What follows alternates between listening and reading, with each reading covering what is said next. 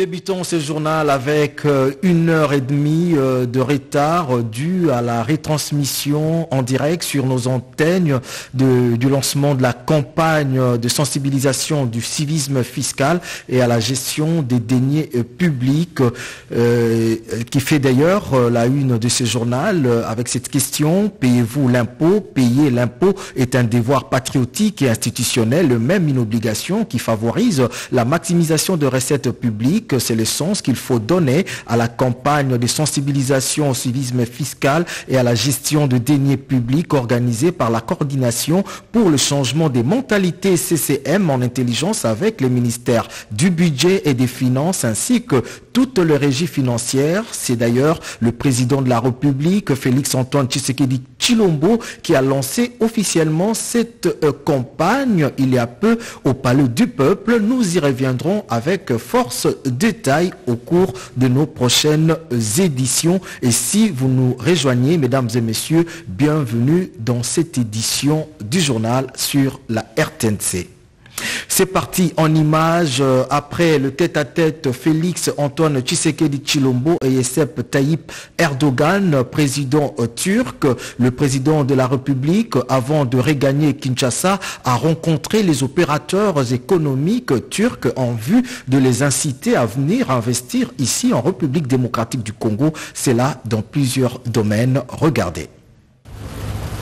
Avec la visite officielle du chef de l'État Félix Antoine Tshisekedi Chilombo, la Turquie, avec la puissance économique et l'influence de ses hommes d'affaires, vient de prouver qu'elle est une grande nation dans l'espace euro-asiatique.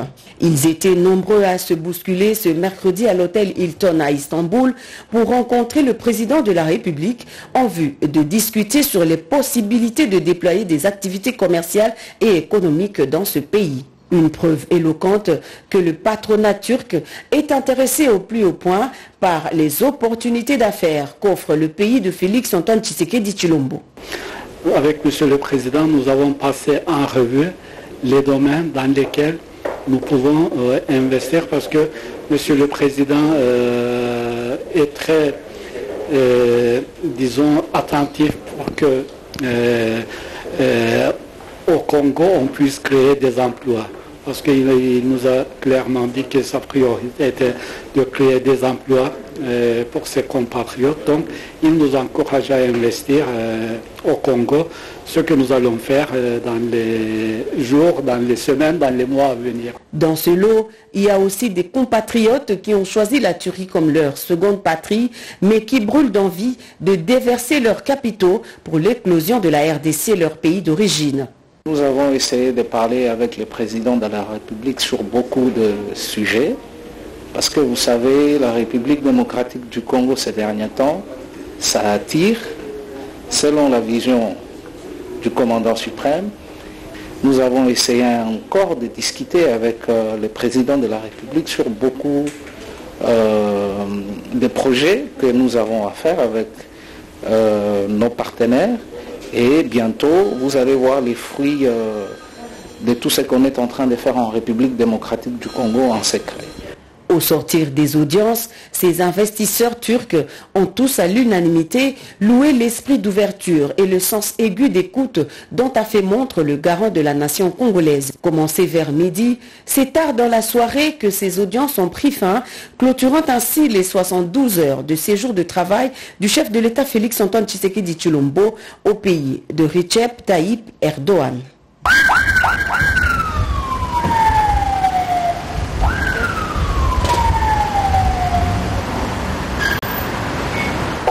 Aussitôt regagné euh, Kinshasa, euh, le président de la République euh, a également présidé la 19e réunion du Conseil de ministres en mode distanciel. Plusieurs points ont été inscrits à l'ordre du jour. Nous vous proposons cet extrait du compte-rendu axé sur la méningite qui sévit dans la province de la Chopo. On fait le point avec Patrick Mouyaya, ministre de la Communication et Médias et porte-parole du gouvernement.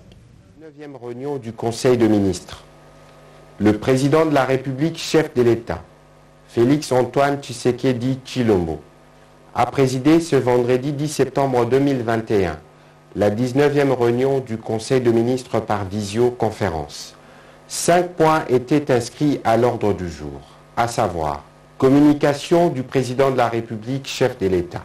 Point d'information. Approbation d'un relevé des décisions du Conseil de ministres. Examen des dossiers. Examen des projets, des textes. Communication du président de la République. La communication du président de la République a porté essentiellement sur trois points, à savoir de l'épidémie de méningite dans la province de la Chopo. Cette épidémie se caractérise par un taux de mortalité avoisinant 50%. Éviter qu'elle se propage dans les autres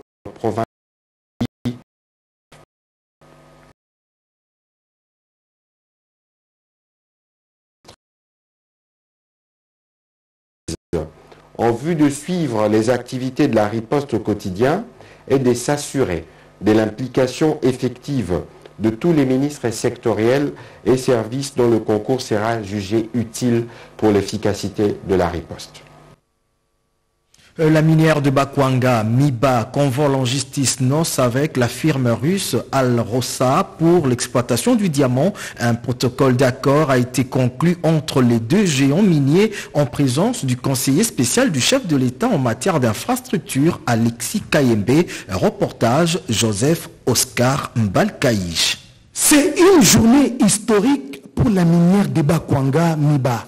Cet accord signé en vidéoconférence par le directeur général adjoint, chef de la division africaine de la firme russe Al-Rosa, Vladimir Marchenko, et le directeur général intérimaire de la MIBA, Lukusamu Kalonji, s'est déroulé devant témoins le conseil spécial du chef de l'État en matière des infrastructures, Alexis Kayembe de Bampende. Les entreprises Al-Rosa et MIBA vont donc travailler ensemble pour explorer, extraire et traiter les diamants conformément aux meilleures pratiques mondiales en matière de gestion responsable, de développement durable et de transparence. Elles vont aussi partager les technologies et les connaissances pour assurer le développement durable de l'industrie minière du diamant. Les deux entreprises coopéreront conformément aux mécanismes internationaux d'autorégulation de l'industrie et aux normes internationales pour une ingénierie responsable de la chaîne d'approvisionnement en diamants. Pour les représentants des deux parties, ces protocoles d'accord marquent une nouvelle étape dans le développement de l'industrie minière du diamant en RDC. Ce partenariat stratégique entre Alrosa et l'AMIBA va ainsi créer une valeur ajoutée à l'industrie minière congolaise, à son économie et à sa population. Il permettra ainsi le renforcement des relations entre la Russie et la RDC et va ouvrir la voie à une coopération plus poussée entre les deux pays. Cet engagement intervient après celui conclu en 2019 entre le président de la République et les géants Fortescue Metal Group pour le projet Grand Inga le gouvernement de la République fait de l'émergence de la classe euh, moyenne son cheval de bataille et c'est dans cette optique euh, que l'exécutif vient de doter l'OPEC des équipements euh, de l'incubateur de cuir pour la fabrication des souliers Made in DRC. C'était en présence du ministre des tutelles, Eustache Mohanzi. On fait le point avec Mireille Nteke de l'entrepreneuriat et PME à travers son organe technique, OPEC a développé le programme d'implémentation des incubateurs de PME en RDC, d'où cette cérémonie de remise des équipements à l'incubateur Queer à l'OPEC dans le but de favoriser la création de PME modernes et compétitives capables de contribuer à l'essor économique de la RDC et ce avec l'appui financier du COMESA. Le DG de l'OPEC, Ezekiel Bidoya, a remercié le gouvernement de la République pour les stratégies mises en place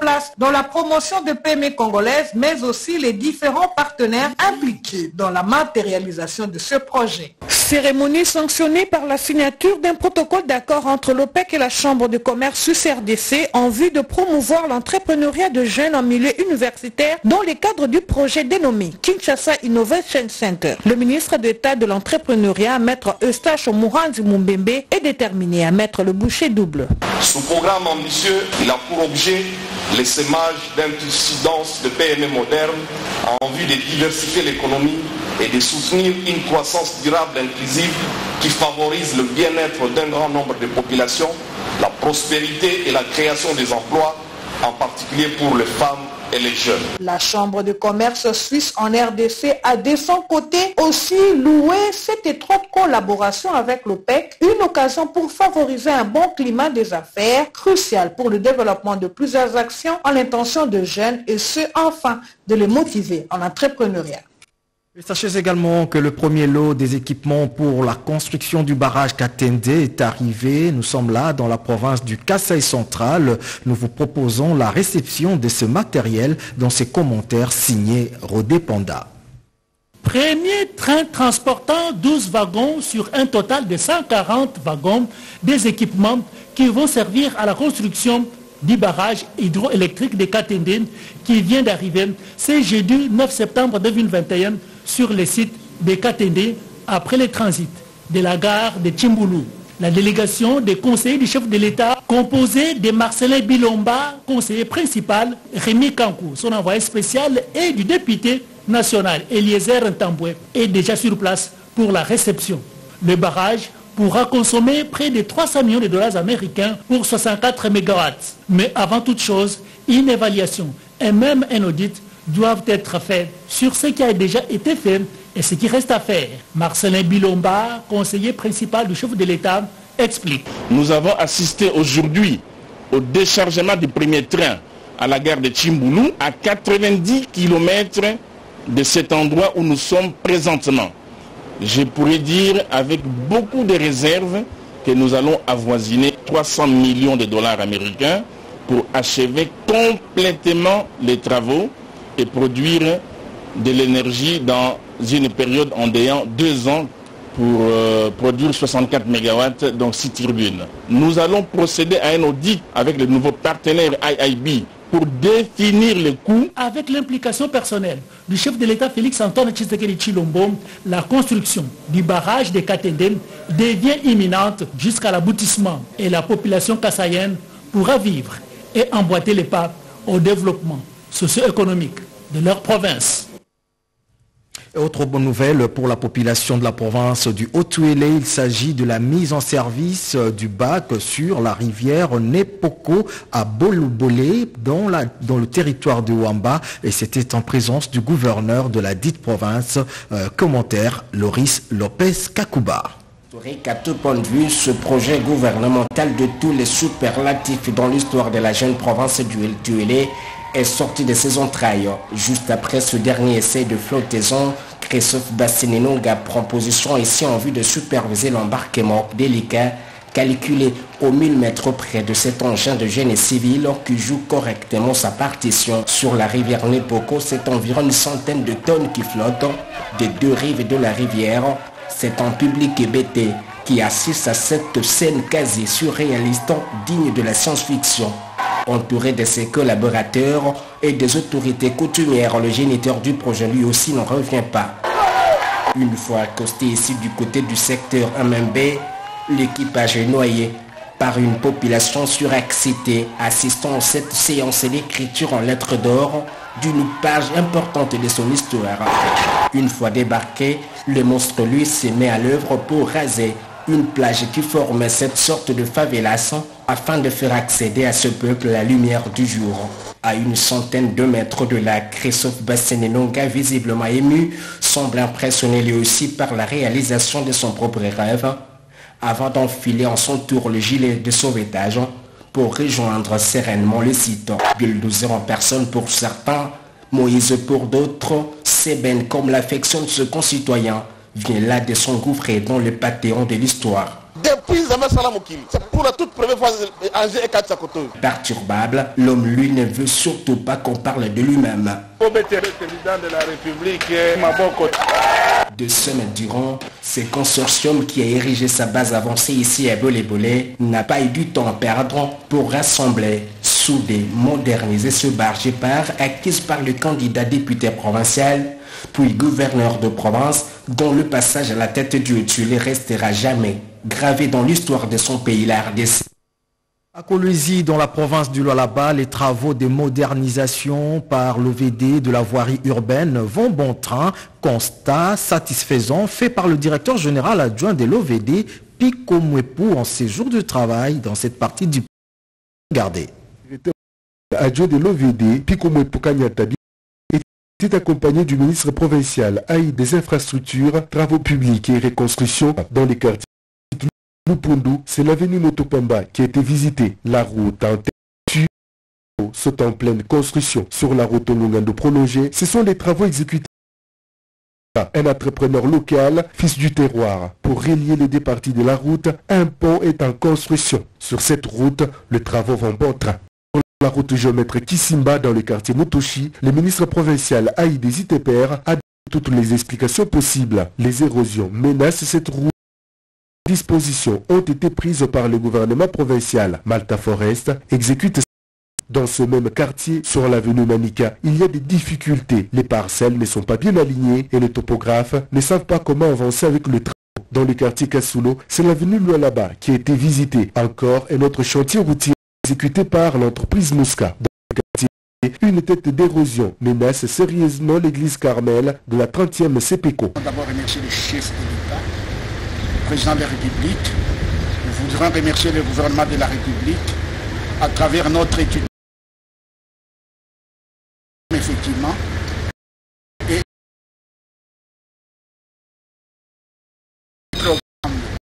pour la population moyennant quelques notes que nous allons discuter ensemble. Engagé dans la promotion et l'égalité de la Première Dame continue à faire écho des Nations les ambassades de différents pays ont manifesté euh, la volonté d'accompagner la fondation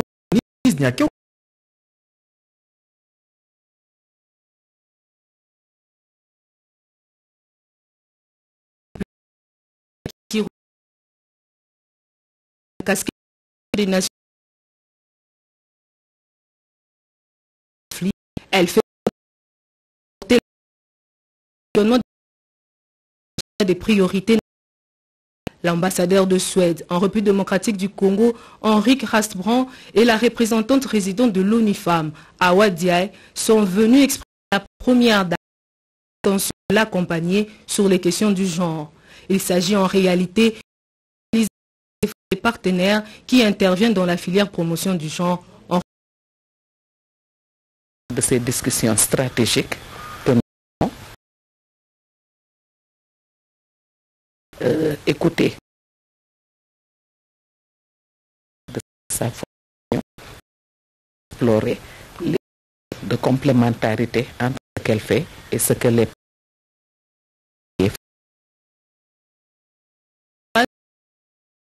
des bailleurs des ambassadeurs avec la dans la qualité et la promotion le avec ailleurs de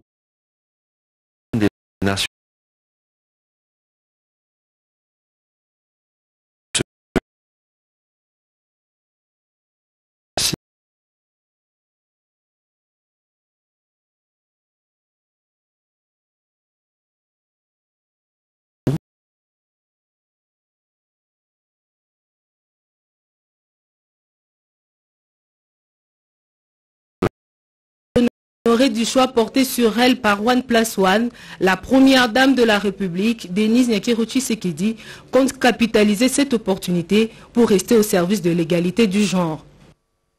Un personnel qualifié est un gage pour une administration euh, publique forte. Conscient de cet état de choses, le vice-premier ministre, ministre de la fonction publique Jean-Pierre Liao, a lancé officiellement la formation continue des cadres supérieurs de l'administration publique. C'était lors de son récent séjour dans cette partie du pays. Reportage Cédric Kenina, Nadine Kilocho et Moke Maluma forme de l'administration publique n'est plus une option, mais plutôt une condition sine qua non.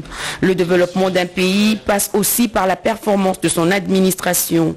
C'est dans ce cadre que le vice-premier ministre, ministre de la fonction publique, Jean-Pierre Liaou, a procédé au lancement officiel de la formation continue en renforcement de capacité des cadres supérieurs de l'administration publique, d'où l'importance capitale qu'apporte le patron de la fonction publique à cette formation pour rendre performante l'administration publique congolaise. J'attache une importance euh, capitale à ces programmes de formation continue.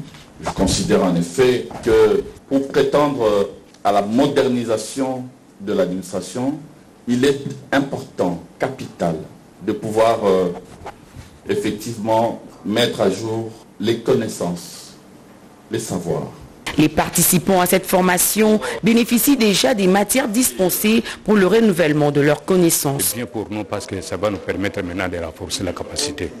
Parce que ça fait depuis longtemps que nous sommes ici cadres à la fonction publique, mais pour nous permettre de moderniser l'administration de la fonction publique, il nous a fallu une formation qui nous permettra de renforcer cette capacité-là, d'apprendre quelque chose d'innovant. Au terme de cette formation, ces cadres supérieurs vont se mettre au diapason pour assurer correctement leur mission. Vous le savez également que les États généraux de l'enseignement supérieur et universitaire ont ouvert leurs portes hier à Lubumbashi. Les difficultés liées au fonctionnement des universités en RDC en vue de la réforme de l'enseignement supérieur sont au rendez-vous de ces assises placées sous le haut patronage du président de la République et c'est le ministre Delessu qui a ouvert officiellement ces travaux. Regardez. Les États généraux de l'enseignement supérieur et universitaire ont ouvert leurs portes à Lubumbashi. Plus de 300 personnes participent à cette rencontre qui marquera le tournant d'une université congolaise surannée et d'un enseignement supérieur déphasé. 25 ans après les dernières assises des États généraux, c'est Mouine Donzangui, ministre de l'enseignement supérieur et universitaire, qui réussit à offrir aux professeurs d'université, aux anciens recteurs, aux ministres honoraires de l'enseignement supérieur et universitaire, aux politiques, aux milieux d'affaires et autres administratifs l'occasion de réfléchir sur l'avenir de l'université congolaise. L'heure est encore aux interrogations comme celle que se pose le ministre. Ne devrions-nous pas penser, je m'interroge, j'espère que vous vous interrogerez aussi, ne devrions-nous pas penser à conférer au ministère de l'enseignement supérieur universitaire le pouvoir d'affectation d'office des professeurs dans les universités et instituts supérieurs à manque et à pénurie, à personnel qualifié. Dans ce cas, une prime supplémentaire de brousse serait envisagée. C'est ça les États généraux. En droite ligne de la vision du président de la République Félix Antoine Tshisekedi et par la détermination du gouvernement Samalou Kondé, ces assises vont permettre des innovations parmi lesquelles l'arrimage de l'université congolaise sur les systèmes LMD, licence, master, doctorat.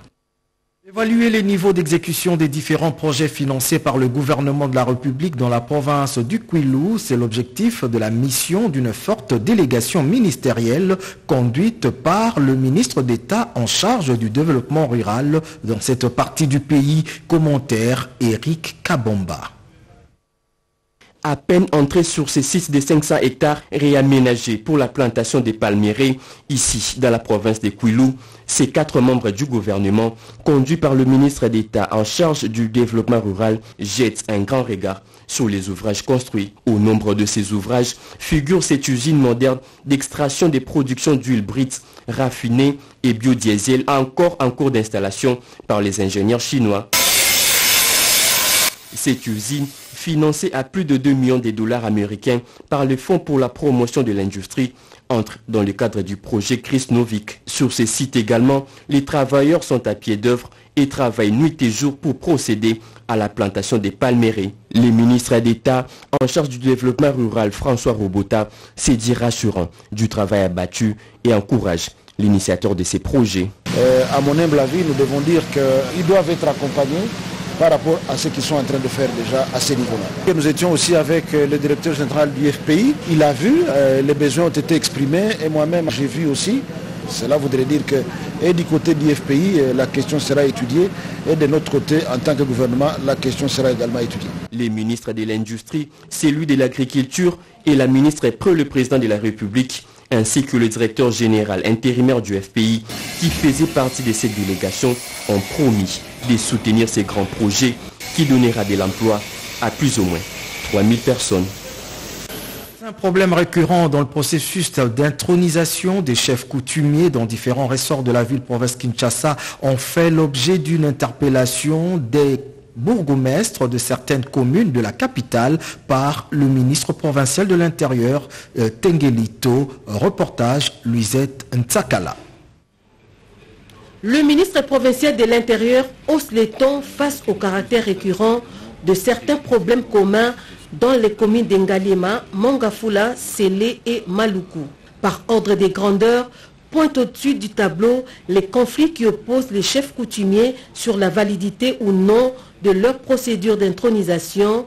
Viennent ensuite la délinquance juvénile, le banditisme urbain qui s'est accentué ces derniers temps avec la consommation déplorable de la drogue bombée dont on devine la gravité des conséquences sur la santé mentale de la population. Nous avons parlé de l'autorité de l'État. doit être ressenti dans chaque maison communale euh, jusqu'à la base, c'est-à-dire au niveau du quartier, et que ce sont, euh, mesdames et messieurs les qui ont cette puissance publique au niveau de leur juridiction, et ils doivent l'appliquer euh, dans toutes les formes légales, et des instructions claires ont été données. Nous avons parlé des problèmes aussi avec les camions de plus de 20 tonnages qui circulent, dont en l'espace de trois mois, nous avons quand même connu près de 35 cas d'accidents de ces camions, et 95% de ces causes, c'est des problèmes liés au frein, donc c'est-à-dire c'est un surchargement que messieurs les bourgmestres prennent les dispositions parce qu'ils ont ces textes-là.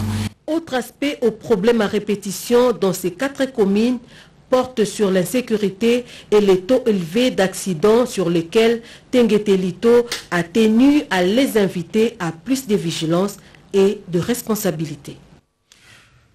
Et on termine ce journal euh, par la province euh, des Quilou. L'heure euh, est au début de travaux de construction et de réhabilitation des écoles des Boulungu financées par le gouvernement, plus précisément au village Tolunkwa. Regardez. Toujours en itinérance à travers son Quilou profond en vue de vivre la réalité de l'intérieur de la province, conformément à la vision du chef de l'État Félix Antoine Tshisekedi Chilombo, le peuple d'abord, le gouverneur du Quilou, Willy Itundala Assang, est arrivé au village Ntolukwa, dans le secteur d'Ankara, territoire de Boulungu, à 60 km de la ville de Kikwit. Objectif, apporter le sourire à la population de cette contrée de la province, en même temps poser des actions sociales. Les habitants d'un Tolukwa qui, depuis l'indépendance, n'ont jamais vu un gouverneur fouler leur sol ont profité de l'occasion pour solliciter des solutions à leurs problèmes.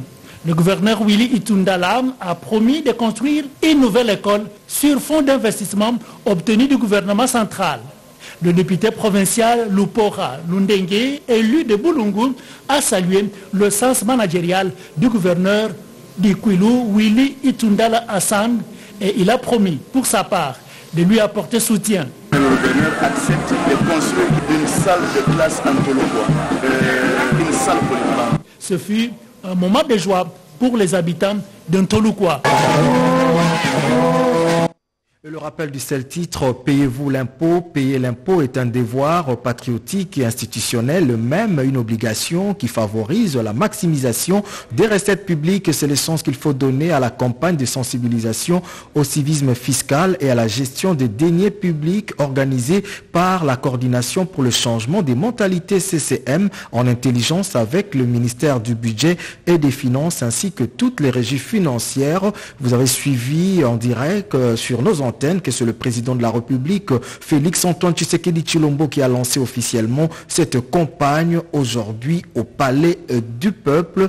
Euh, fin de ce journal réalisé par euh, Discover Pongo et Nasha Kumpava. Ce journal a connu le concours rédactionnel de Diane Balaka. Merci de l'avoir suivi et très bon week-end chez vous. Au revoir.